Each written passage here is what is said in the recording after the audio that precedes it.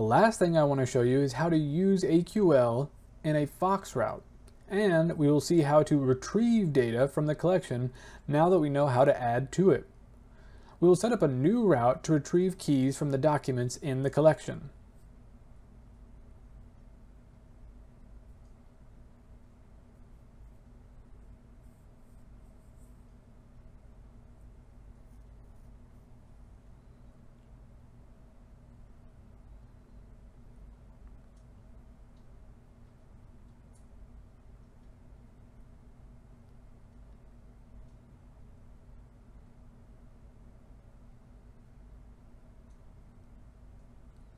The first thing we want to do in our callback function is actually assign the keys to a keys variable that we can return. To do this, we will use our db.underscore query function, which is required anytime you're going to query the database. And then we can actually use AQL. But in order to actually use AQL in our Foxx services, we do need to import it.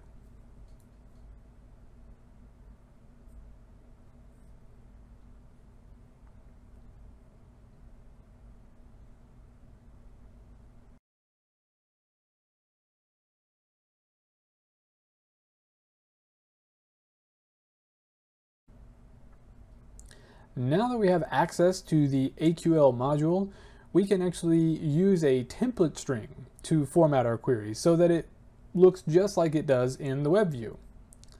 This also allows us to use variables within our template string.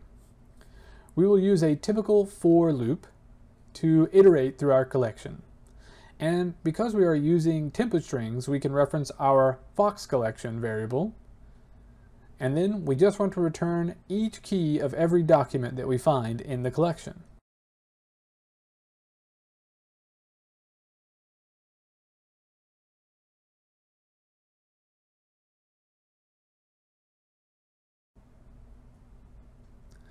And now that we have a keys variable that actually contains keys, we can send that back to our client.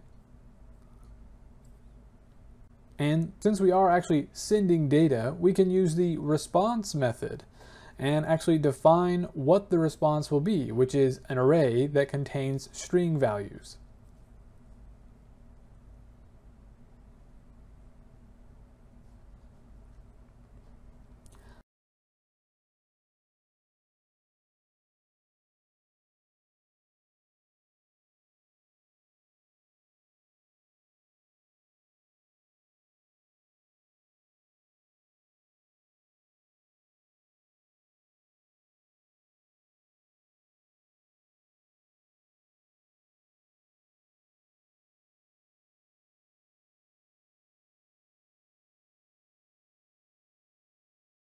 Lastly, the summary and description for this route, and then that's it for this route. We can hop back into the web view and update our service and test it out.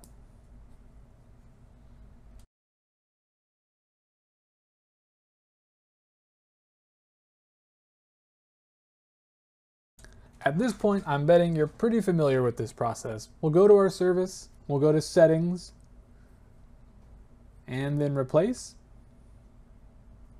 and then upload, upload again. We'll create our new zip file from our up-to-date project folder. Double click and replace. And one more replace. Okay, let's hop back in, our API documentation, and here we go. Now we can go ahead and click on our new entry that should retrieve the keys of the documents in our MyFoxx collection. Let's go ahead and try it out, execute. There it is, there's key one. That's the document that we previously entered.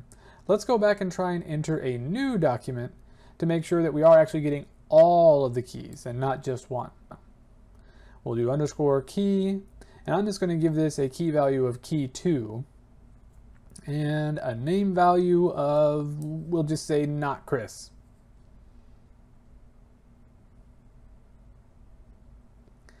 And we'll execute it.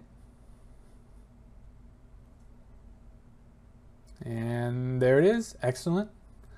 And let's go see what we get. Hey, there we go. Okay, we've got key one and key two. So it's iterating through our collection and returning all of the keys that it finds.